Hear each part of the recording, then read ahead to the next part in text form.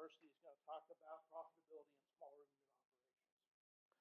All right, and uh, appreciate the chance to get up here. So you thought you thought you had it bad coming here talking about dairy.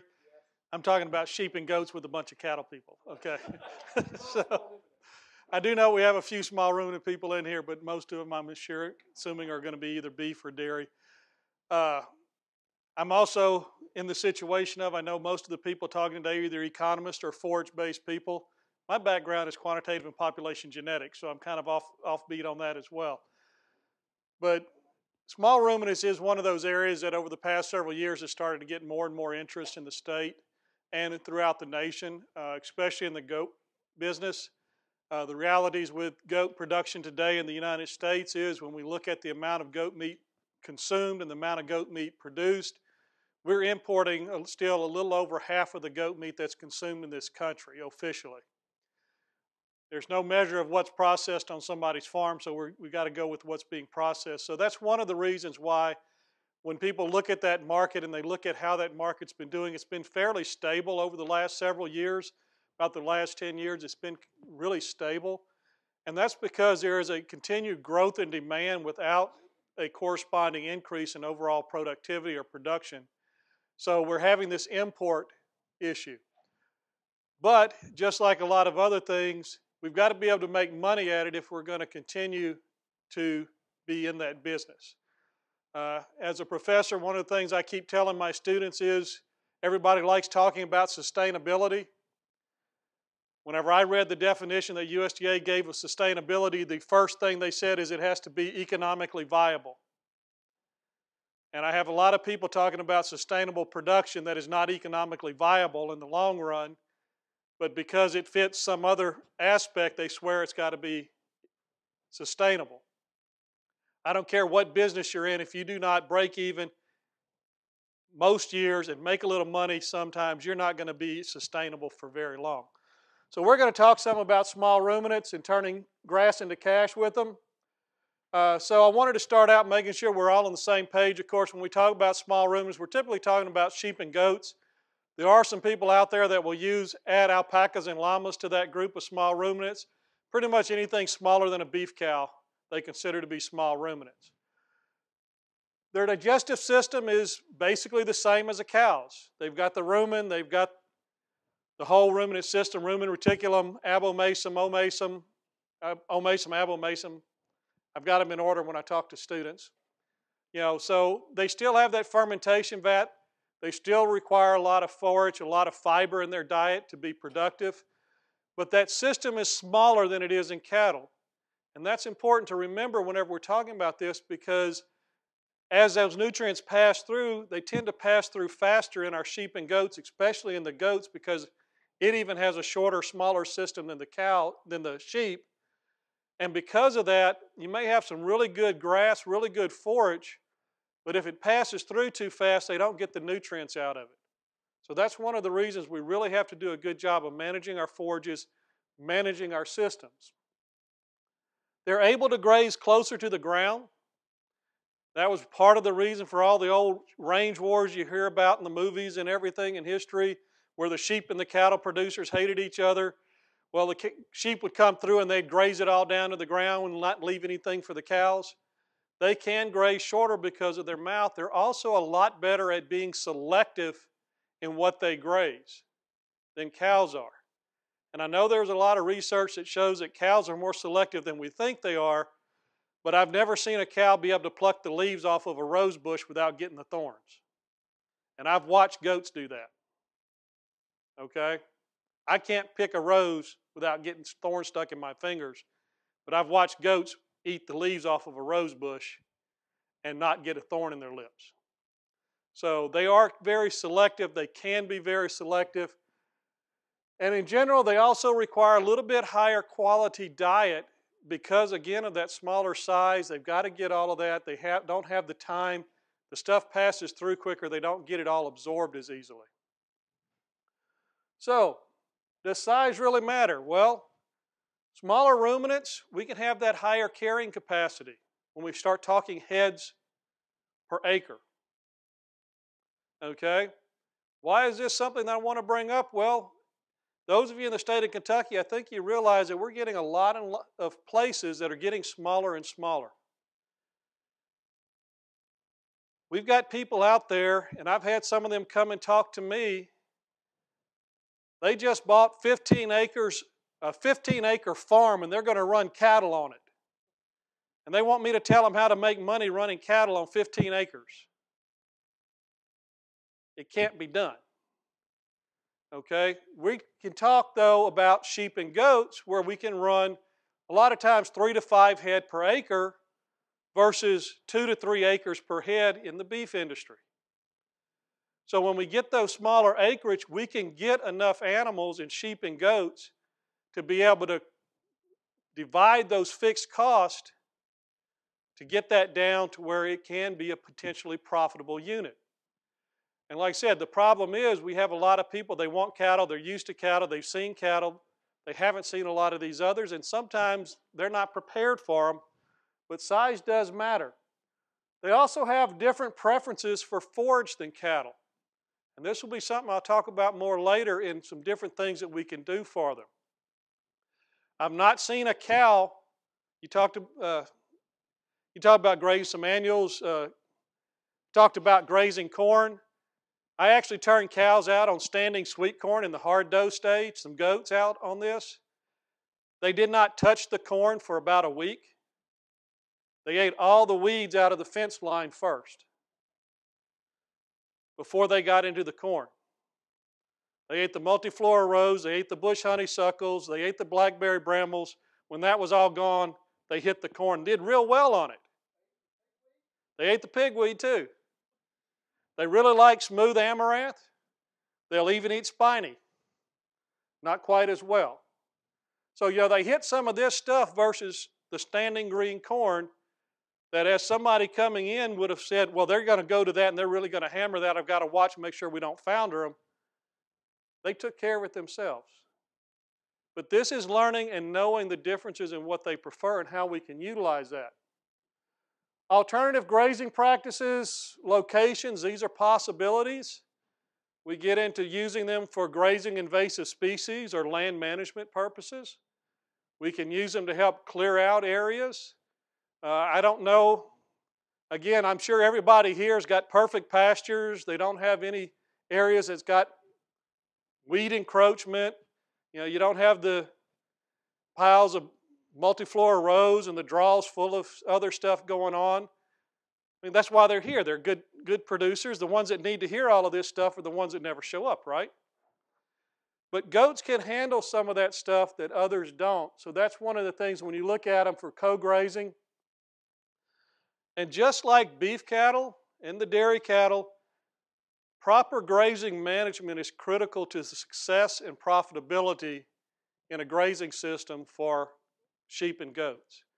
We need to be looking at doing a good rotational system and having a good planned grazing program, looking at some diversity in our forage so that we can maintain their needs and meet that over time.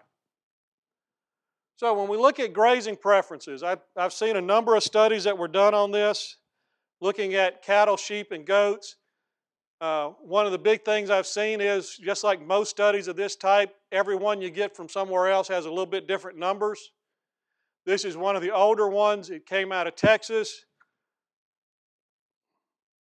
The reason I point that out is grass isn't always readily available in Texas, especially in the hill country of Texas. Uh, but if you see here, cattle really like the grass. They don't really like that much browse.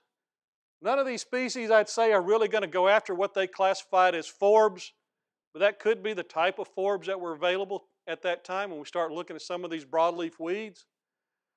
But sheep weren't quite as big on the grass, but goats were fairly well balanced between browse and grass. So when you give them the opportunity, that's something that they are going to prefer to graze if it's out there and available to them. Whereas cows, if they have the chance, they're probably not going to graze a lot of blackberry bushes or multiflora rose and these types of things. I know people who've said, I can get my cows to eat it. It's like, yes, you can get them to eat it, but is it something that they want to eat? Is it something that's going to meet their needs? Whereas when the smaller ruminants, you can get there and they can do this. So we use that to our advantage as we plan our grazing systems. That difference in diet base, different types of forage, different availabilities, It's also opportunities for producers. We have at least two peak companies in this state that I know of that are actually contract grazing because of this. They're running goats, they've got people paying them to run their goats to get rid of some of the invasive species in parks, along utility right of ways, and other types of areas. It's a lot more common out west than it is here. There's also some places out further east, but it is something that some people are doing. It's a hard sell. Both the people I know doing it, so they say, Yeah, there's a lot of people interested and they really want it, but they don't want to pay me for it. Okay? It's not a business if you don't get paid for it but it is an opportunity that increases and utilizes some of these other areas that you don't think about. That's one of the problems I have today. Since I really started working with goats, I have a trouble driving down I 75 south. Okay? I have trouble coming out this way and going south, coming west. You start going, you start seeing the amount of kudzu on the side of the road. You start seeing the bush honeysuckle on the side of the road. It's like, man, we really could use some goats out here okay? We can do a lot with this. And there's a lot of area that could benefit from goats. Sheep will do a similar job. They're not quite as good at some of this as, as, as the goats are. So when we talk about managing forage, all those same practices of rotational grazing, annual forages, diversifying your forages are very effective in improving the performance and profitability of your goat herd or your sheep herd. The big difference I see between cattle and these is related to our fencing. I have yet to find a barbed wire fence that'll keep a goat or a sheep in. I grew up in Louisiana. We used barbed wire fence all the time to keep cows in. I worked out in Kansas. Three strands were all you needed, barbed wire. That was a legal fence. Your cows usually stayed in.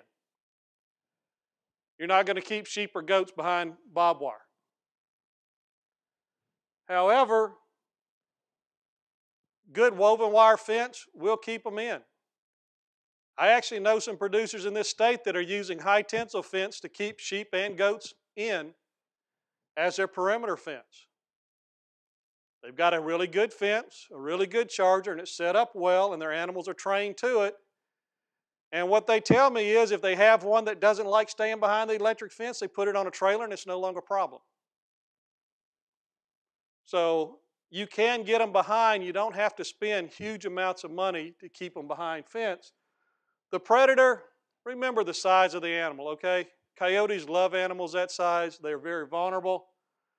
Uh, one other consideration is grazing pattern.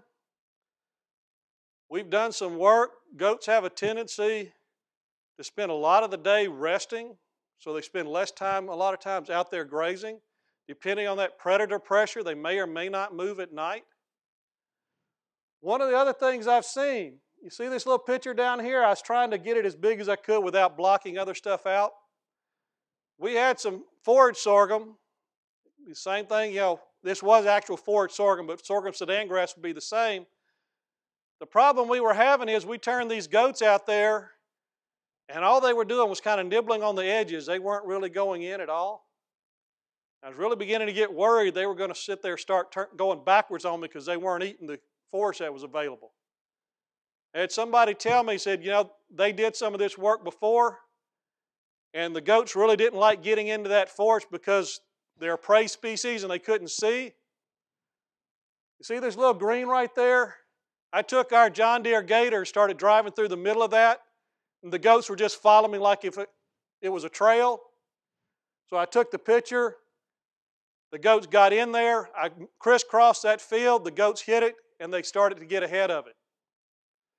So you've got to be aware of some of these things because they're such a prey species, they don't like getting deep into something where they feel more vulnerable. So you have to think about that when you're planning the grazing with these. Mixes of cool and warm season forages, just like with the cattle. We have the summer slump. We have fescue issues as well. Uh, both annual and perennial, perennial forages can be used properly in these systems. And I know I'm not the only thing between you and lunch, but I have been told y'all are supposed to have a business meeting before lunch, so I don't want to put that too late. And, okay. All right. When we talk about fencing for goats, I've heard everything from if it'll hold water, it still may not hold the goat. Uh, woven wire field fence works very good for goats uh, as a perimeter fence. We have a lot of people that go out there and they spend a lot of money buying this 4x4 square fence. It's usually about twice the cost of regular field fence. We use 12 inch wide stays, so the square is 12 inch wide or the rectangle is 12 inches wide, standard height. What I've found in our farm at the university is where we have that fence, if a goat gets its head through that, it can, has enough room to get its head back out, unless there's a post there breaking that area up. Okay? The big problem with these smaller square fences, the, six, the 8 and 6 inch standard field fence, is goats of a certain size, uh, if they've got their horns on them, they'll put their head through there and they can't get their head back out and you've got goats with their head stuck in the fence, and if you're in a location like we are, all of a sudden the people in the neighborhood are calling the farm manager at 2 a.m. saying you got a goat caught in the fence, you need to get it out now. And that's not real pleasing to that person, so they're upset with me. So that 12 inch stay really works good. The standard sheep fence, you know, standard size woven wire because sheep don't have horns, are fine. Dairy goats that people see are dehorned, that's why they don't have horns on them. Just like your dairy cows. Okay? And they're dehorned for the same reason. You handle them so often. Most people with meat goats don't really bother to dehorn them. It's a bloody process, so they don't do it. Electric fence, high tensile fence can be effective, usually a little bit lower spacing lower to the ground to keep them from going underneath it, but a good electric fence is very effective. I like using a standoff wire around those woven wire fences, and I get two purposes out of that. Number one is goats love to rub on that fence during the springtime when they're shedding. And it's amazing how quick they'll push staples out of your fence post and pop the wire ties on your steel post. You put that electric standoff wire on there, they don't rub on that fence anymore. They also don't stick their head through the fence anymore. Just under my knee height, so usually about 20 inches is good. 18 to 20 inches. You're probably aware, if you think about that, stuff starts growing up into it, so yeah, you have to do some maintenance on it, but that's for anything.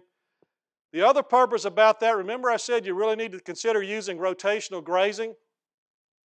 I'm a firm believer in using temporary electric fence for rotational grazing because I can vary my sizes, I can vary my shapes of my fields as I break that up into different paddocks. That electric standoff gives me a good place to tie into to power that electric fence. Okay?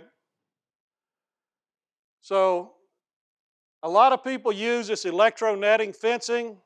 We used to use it a lot at KSU. Then I got lucky, and the Gallagher rep was there one day and said, Why are you fighting that stuff all the time? We've got a product that's a whole lot better. It wasn't available here in the state at the time, but he made arrangements for me to get some, and I've never bought another roll of electro netting since. Uh, problem with electro netting is it gets tangled. You got to pick it up right. It's heavy. It's bulky. We use this Gallagher Smart Fence. I don't like talking about name brands, but Gallagher's the only company I know that makes this equipment right now. Uh, it's four strands of poly twine on reels that are combined on a single system. It's got 10 step in temporary post, and it's 300 feet long. So we put the first post in, we start, we crank the uh, tension down, we start backing up, we run it wherever we need to go, putting post in periodically. If we need to make a corner, we make a corner. When we get to the end, we tie the, the main post in, crank the uh, tension back down, turn the handle, and each strand is on a separate wheel. So we can tighten each strand up to the right tightness to keep it good in good shape. If I don't need the full 300 feet, it's not a problem. With the 300 or 164 foot poly net, if I don't need the whole 164 feet, what do I do with the rest? And like I told somebody else, my biggest problem, that's one deal, but I always wound up sitting there with a situation where I'm running straight across a field and I need six feet. So I need six feet, and the shortest they make that poly net is 80 foot. With this, yeah, I'll use a 300 foot strand, but I can at least keep it tight and keep it together. So we like using the Gallagher Smart Fence. I've also used two to three strands of just plain poly twine on regular wheels, like you would set up a single strand for cattle. Again, I'm real precise in my measurements. I show people about this part of my, you know, about halfway up my calf, right underneath my knee and right over my knee. And if somebody likes to jump, we throw them on the trailer and we send them somewhere else. I've yet to see the processor complain about one that jumps, okay? And I've yet to see it be a problem after it goes to visit the processor. Folks, I deal with too many people that the animals are more of a pet than an actual production thing. And so this may sound funny, but a lot of times they deal with that and they keep putting up with it and putting up with it because it's a pet. And they don't want to admit that it's a pet. Yeah, I know. But cows are a whole lot bigger pet. but the electric uh, fence, especially the netting, can reduce the risk of predators as well. They don't like getting hit by the electricity either if it's got a good charge. One thing I will warn you about electric fencing and goats especially, but sheep as well, I think they're able to predict when the power goes out and they're standing there waiting, and as soon as it goes off for two minutes, they're on the other side. Uh, I have literally watched goats with electro netting in a field graze and ease in toward that fence and stop, look at the fence, and start grazing back away from it. When the fence was off, they grazed up toward it, stopped, and kept going into it. Okay? I don't know what they're sensing, but they are better at this than cattle are. And if you turn that fence off, a lot of times they will get out if you leave it off. So, how do we use them in a grazing system? One key to profitability, like I mentioned before, is rotational grazing. We've got to do a good job of rotational grazing. We've got to have a good system in place. If we're going to be successful. This, as has been mentioned before, keeps the grass vegetative. Vegetative grass is more nutritious. We need that higher nutrition. But one of the other keys with small ruminants is parasite problems. We have a lot of problems with internal parasites with sheep and goats. That parasite has a life cycle outside of the animal. And it takes 14 days to go from egg to an infectious stage larva. So whenever we're grazing and our grazing periods get extend beyond 14 days, we're reinfecting animals off of that pasture. So with a good rotation system, we can keep that rotation quick enough to get them off of that field in time. Again, temporary fencing is real critical to this. Woven wire that meets the ground is important. Goats do like to go underneath fences. And you will be surprised if you've never fooled with them at what an animal can fit through.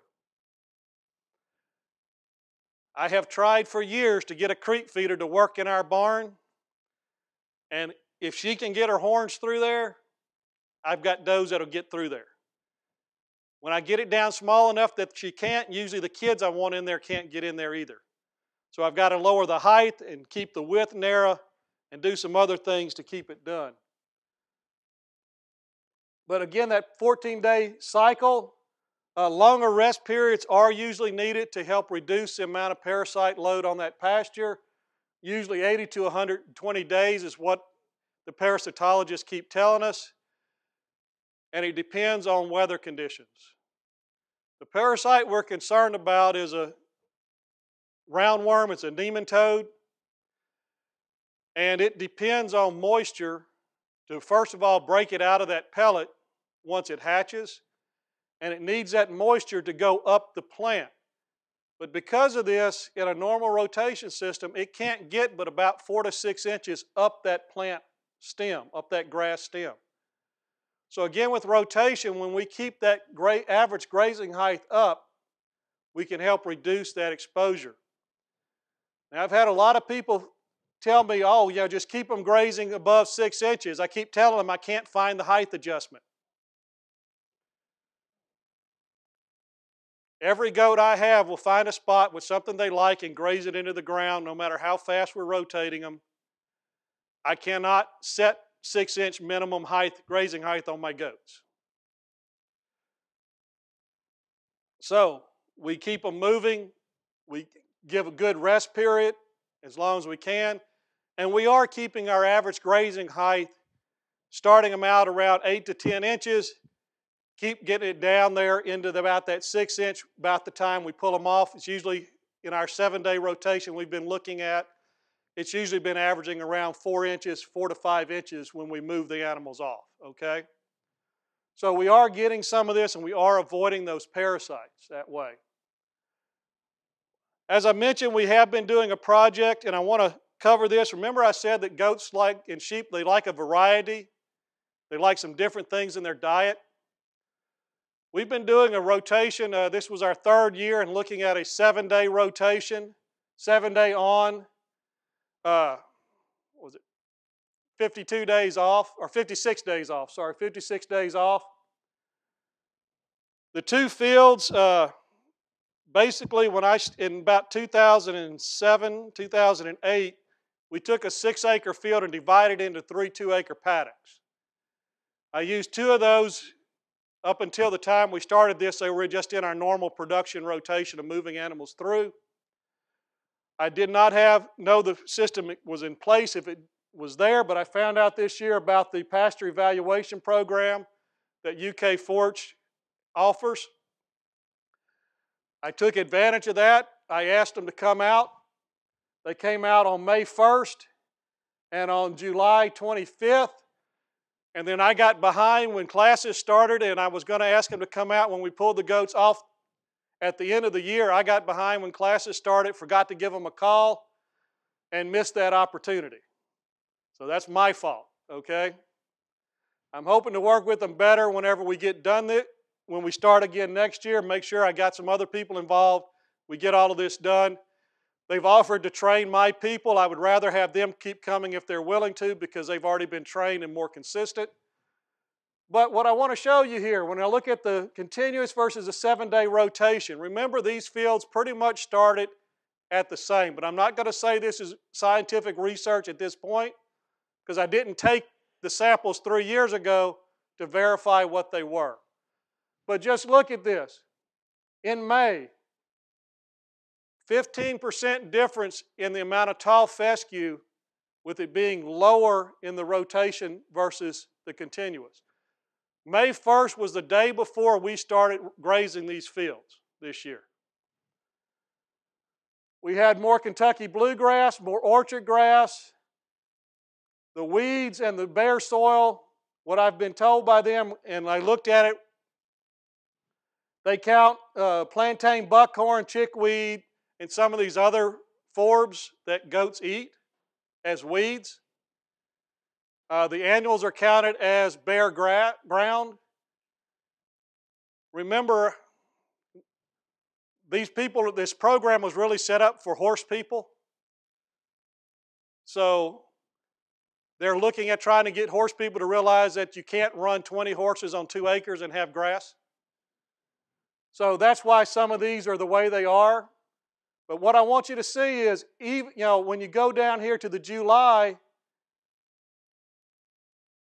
we still have a good difference even have 23% Kentucky bluegrass there, it didn't really change. And they went through the whole field, all the two acres, not just looking at where the animals were, were moving on that rotation. So this was throughout the field. Orchard grass dropped a little bit, but when I look at this, again, I, I can't do the, the analysis on it, but I see the rotation is maintaining that variation in even the cool season forages. Now, admittedly, this year was a very wet year. Our cool season forages grew better throughout the summer. But how many cattle people would like to have less fescue, more bluegrass, and orchard grass in their fields? Through good grazing management, we can get there. Okay? Again, the white clover, they, they counted some of that. Some of the weeds also included the red clover, which we had overseed, we had frost seeded with red clover a good many years back. We need to do that again. And like I said, some of the bare soil here were some of our plants that are annuals that are in there. Uh, we just see a much better ground with the rotation versus the continuous. I started looking at the performance of the animals in here. And the first two years, it looked exactly like I expected it to. The rotation was doing better with average daily gain than the continuous. This year was the outlier year. If I throw this year in, I get a year by treatment interaction. I'm trying to figure that out exactly what caused all of that because uh, it wasn't the difference wasn't what I expected it to be. So I've got to do some more examining of what went on there and what caused that. But we, we do see a little bit difference in performance, and it's usually better on our rotation. Uh, I think some of this is due to my concern, and I, some of the people here can probably help somebody figure this out. When we start this rotation, part of the reason I start it so late is because we usually start with does so I've got kidding going on and some other stuff. Well, what happens is when I start at one end of that field and I've got nine sections, that bottom end is starting to mature out and is usually the last two or three sections are very mature by the time I get to it. The simple solution is go in and mow it. I've done that some years. And then it doesn't rain. Then I don't have forage. Okay? So that's a problem, but we are seeing some variation. This is getting, and again, I really, it's showing what I expected, but I can't quite test it yet. Just want, want to cover this, this real quick. I believe a lot of cattle producers in this state are missing an opportunity. We see a lot of weeds in cattle pastures. They're using a lot of chemicals in mowing. There is the possibility of co grazing sheep and goats with your cows and having them help this out. We did a project in Carter County a good many years ago. Some of the extension people remember Terry Hutchens. He started this project. Uh, what we saw was over three years, we saw a tremendous reduction in brambles and other broadleafs and weeds in the pasture in the lower and middle canopy heights with a corresponding about 30% increase in grass in that lower and middle canopy. So, as a cattle producer, could you use an extra 30% grass on some of your pastures? Now, these pastures had a lot of weeds in them. So, I wouldn't say the direct corresponding to any pasture. But this was being achieved through co grazing, where the producer added one goat, one doe per cow on these fields. He didn't see a decrease, he actually saw some increase in his cattle production. And because of the steep terrain he was dealing with, when they used the UK numbers to calculate what it would cost him to do chemical or mechanical weed control, he was covering more than the cost of raising the goats in his savings for weed control. So if you really start budgeting it out right and looking at what he would have had to pay versus what he was paying, the goats were pure profit. Okay? So grazing land management, I want to cut through this because I know we've got some do have some time restrictions. One of the cautions is, especially with sheep, sheep are very sensitive to copper. If you are going to co-graze, you cannot use the same mineral or feed for cattle as or, or goats as you do with sheep. Uh, predator control is an issue. There are resistant species in both the are resistant breeds to parasites in both the goats and the sheep sheep side of things. Get some good animals. Make sure, just like anything else, think about it like you're buying stockers. Make sure you get good animals, keep them healthy. Select for that. There are good markets in the state. So, proper grazing management is a key. Rotational grazing is really needed if you're going to be successful, and it's to keep the product productivity there, and it's to keep the variety there, and it's to help avoid those parasites. They prefer different, different forages than cattle. Sheep and goats have prefer that variety, and prescribed grazing is one additional use for these species. So that prescribed grazing is where you go and you graze for somebody else or something. One of the things I see is there's possibility of somebody if you with small ruminants, if they have a cattle producer as a neighbor, maybe helping them by grazing their stuff out, give your fields a break. I don't want, like I said, I don't want to keep you too long from, from lunchtime, but I will be around the rest of the afternoon if there are questions. So. Let's thank Ken for his presentation.